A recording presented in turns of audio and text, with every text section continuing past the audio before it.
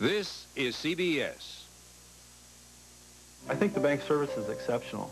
They're really responsive. Uh, they've helped me in so many ways since I've joined the bank, and I feel like I know their people and they know me. That's a great feeling. They have the heart of a local bank and the expertise of a big bank, and I like them. One thing I like about the bank is that no matter where I am, there's always a branch that's right around the corner. It's like being part of a family. You really feel like you belong when you're a customer of Santa Barbara Bank and Trust. It feels really nice.